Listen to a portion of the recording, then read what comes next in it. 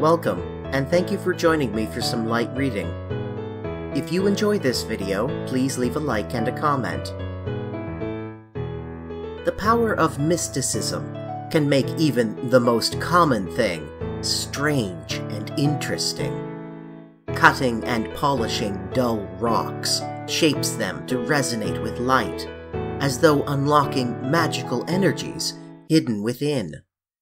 Smelly whale fat and dirty plant roots, through alchemical distillation, transform into perfumes that hypnotize and excite.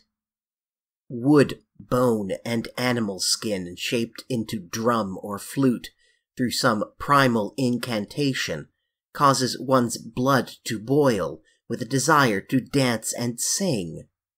And through the sorcery of logic and science, self-serving lies and decadent sins are elevated to a philosophy of mystical empiricism. Dorian's interests are not merely the whims of a rich dandy without obligations or purpose. It is vital research for his unifying philosophy. He doesn't cast things aside once he grows bored of them. He merely needs new experiences to synthesize into his principles of pleasure. And when he slinks off to houses of ill repute, he does so out of commitment to understanding beauty. To Dorian, evil is just another avenue of research. Chapter 12 It was on the ninth of November, the eve of his own thirty-eighth birthday, as he often remembered afterwards. He was walking home about eleven o'clock from Lord Henry's, where he had been dining, and was wrapped in heavy furs, as the night was cold and foggy. At the corner of Grosvenor Square and South Audley Street, a man passed him in the mist, walking very fast and with the collar of his grey ulster turned up. He had a bag in his hand. Dorian recognized him. It was Basil Hallward. A strange sense of fear, for which he could not account, came over him. He made no sign of recognition, and went on quickly in the direction of his own house. But Hallward had seen him. Dorian heard him first stopping on the pavement and then hurrying after him. In a few moments, his hand was on his arm. Dorian, what an extraordinary piece of luck! I have been waiting for you in your library ever since nine o'clock. Finally, I took pity on your tired servant and told him to go to bed, as he let me out. I am off to Paris by the midnight train, and I particularly wanted to see you before I left. I thought it was you, or rather your fur coat, as you passed me, but I wasn't quite sure. Didn't you recognize me? In this fog, my dear Basil? Why, I can't recognize Grosvenor Square. I believe my house is somewhere about here, but I don't feel at all certain about it. I'm sorry you're going away, as I have not seen you for ages, but I suppose you will be back soon. No. I'm going to be out of England for six months. I intend to take a studio in Paris and shut myself up till I have finished a great picture I have in my head. However, it wasn't about myself I wanted to talk. Here we are at your door. Let me come in for a moment. I have something to say to you. I shall be charmed, but won't you miss your train? said Dorian Gray languidly, as he passed up the steps and opened the door with his latchkey. The lamplight struggled out through the fog, and Hallward looked at his watch. I have heaps of time, he answered. The train doesn't go till twelve fifteen, and it's only just eleven. In fact, I was on my way to the club to look for you when I met you. You see, I shan't have any delay about luggage, as I have sent on my heavy things. All I have with me is in this bag, and I can easily get to Victoria in twenty minutes. Dorian looked at him and smiled. What a way for a fashionable painter to travel! A Gladstone bag and an ulster. Come in, or the fog will get into the house. And mind you, don't talk about anything serious. Nothing is serious nowadays. At least nothing should be. Hallward shook his head as he entered, and followed Dorian into the library. There was a bright wood fire blazing in the large open hearth. The lamps were lit, and an open Dutch silver spirit case stood, with some siphons of soda water and large cut glass tumblers, on a little marqueterie table. You see, your servant made me quite at home, Dorian. He gave me everything I wanted, including your best gold tipped cigarettes. He is a most hospitable creature. I like him much better than the Frenchman you used to have. What has become of the Frenchman, by the by? Dorian shrugged his shoulders. I believe he married Lady Radley's maid, and has established her in Paris as an English dressmaker. Anglomania is very fashionable over there now, I hear. It seems silly of the French, doesn't it? But, do you know, he was not at all a bad servant. I never liked him, but I had nothing to complain about. One often imagines things that are quite absurd. He was really very devoted to me, and seemed quite sorry when he went away. Have another brandy and soda, or would you like hock and seltzer? I always take hock and seltzer myself. There is sure to be some in the next room. Thanks. I won't have any more, said the painter, taking his cap and coat off and throwing them on the bag that he had placed in the corner. And now, my dear fellow, I want to speak to you seriously. Don't frown like that. You make it so much more difficult for me. What is it all about? cried Dorian in his petulant way, flinging himself down on the sofa. I hope it is not about myself. I am tired of myself tonight. I should like to be somebody else. It is about yourself, answered Hallward in his grave, deep voice. And I must say it to you. I shall only keep you half an hour. Dorian sighed and lit a cigarette. Half an hour, he murmured. It is not much to ask of you, Dorian, and it is entirely for your own sake that I am speaking. I think it right that you should know that the most dreadful things are being said against you in London. I don't wish to know anything about them. I love scandals about other people, but scandals about myself don't interest me. They have not got the charm of novelty. They must interest you, Dorian. Every gentleman is interested in his good name. You don't want people to talk of you as something vile and degraded. Of course, you have your position and your wealth and all that kind of thing, but position and wealth are not everything. Mind you, I don't believe these rumors at all. At least, I can't believe them when I see you. Sin is a thing that writes itself across a man's face. It cannot be concealed. People talk sometimes of secret vices. There are no such things. If a wretched man has a vice, it shows itself in the lines of his mouth, the droop of his eyelids, the molding of his hands, even. Somebody, I won't mention his name, but you know him, came to me last year to have his portrait done. I had never seen him before, and had never heard anything about him at the time, though I have heard a good deal since. He offered an extravagant price. I refused him. There was something in the shape of his fingers that I hated. I know now that I was quite right in what I fancied about him. His life is dreadful. But you, Dorian, with your pure, bright, innocent face and your marvelous, untroubled youth, I can't believe anything against you. And yet I see you very seldom. And you never come down to the studio now. And when I am away from you, and I hear all these hideous things that people are whispering about you, I don't know what to say. Why is it, Dorian, that a man like the Duke of Berwick leaves the room of a club when you enter it? Why is it that so many gentlemen in London will neither go to your house or invite you to theirs? You used to be a friend of Lord Staveley. I met him at dinner last week. Your name happened to come up in conversation, in connection with the miniatures you have lent to the exhibition at the Dudley. Staveley curled his lip and said that you might have the most artistic tastes, but that you were a man whom no pure minded girl should be allowed to know, and whom no chaste woman should sit in the same room with.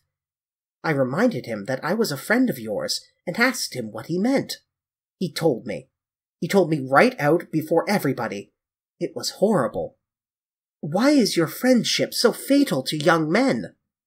There was that wretched boy in the guards who committed suicide. You were his great friend. There was Sir Henry Ashton, who had to leave England with a tarnished name. You and he were inseparable. What about Adrian Singleton and his dreadful end? What about Lord Kent's only son and his career? I met his father yesterday in St. James's Street. He seemed broken with shame and sorrow. What about young Duke of Perth? What sort of life has he got now? What gentleman would associate with him? Stop, Basil.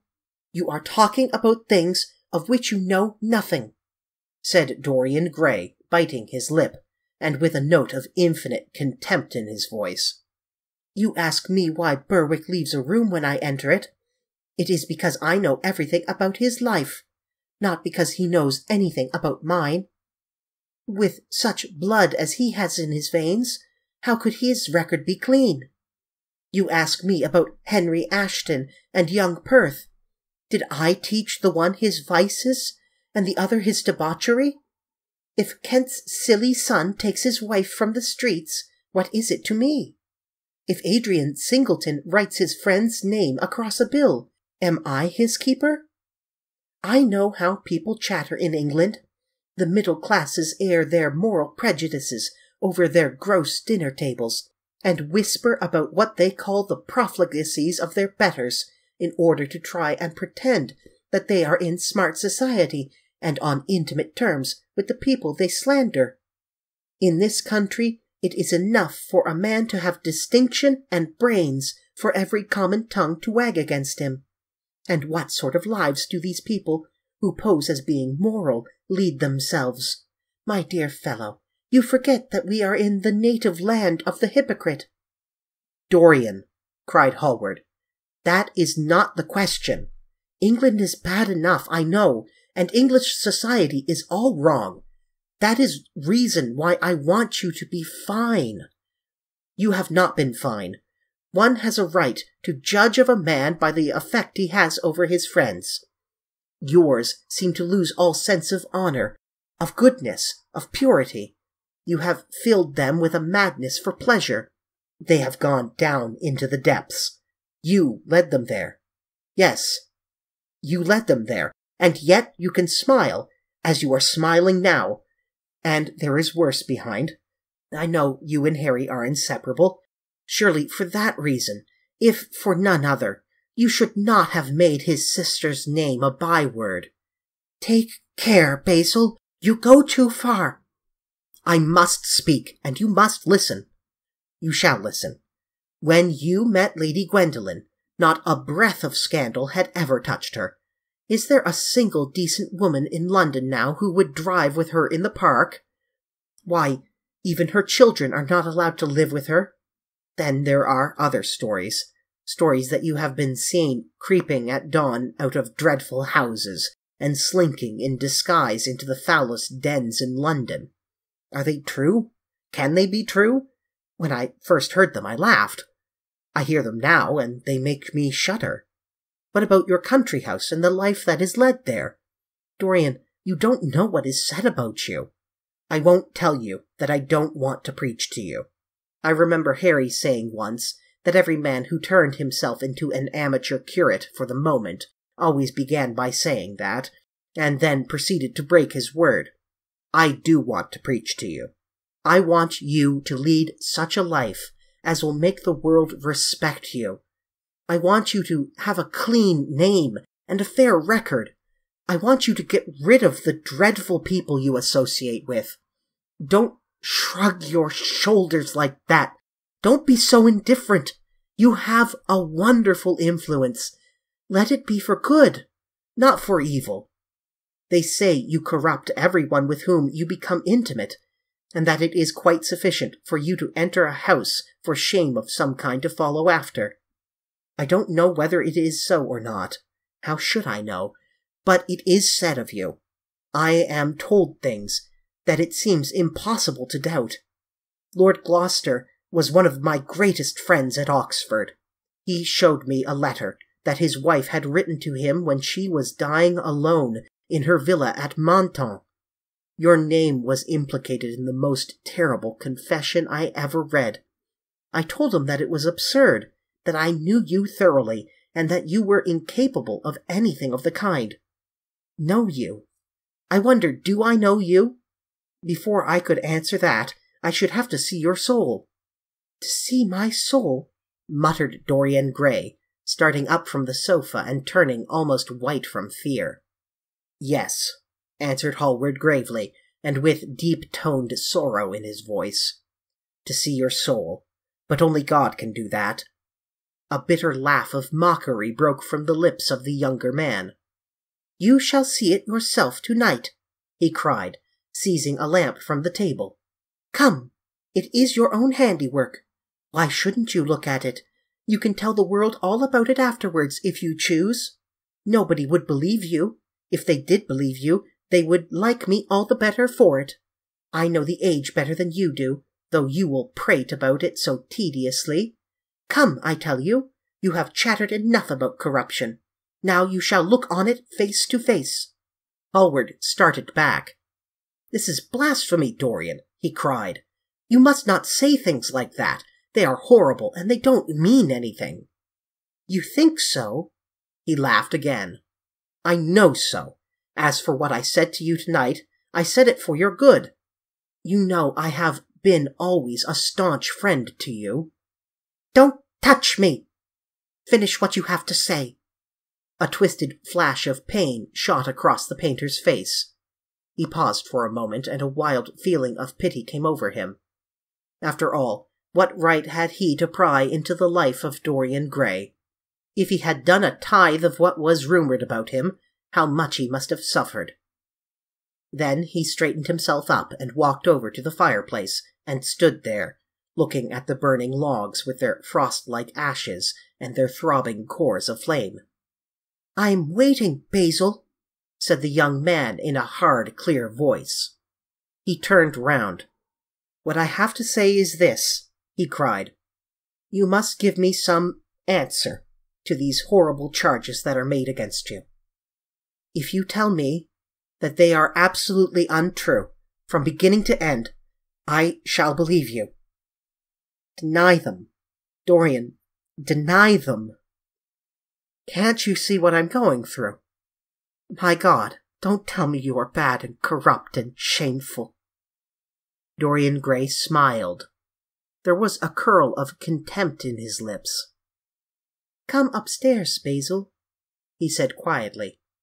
I keep a diary of my life from day to day, and it never leaves the room in which it is written. I shall show it to you if you come with me. I shall come with you, Dorian, if you wish it. I see I have missed my train. That makes no matter. I can go tomorrow. But don't ask me to read anything tonight. All I want is a plain answer to my question. That shall be given to you upstairs. I could not give it here. You will not have to read long.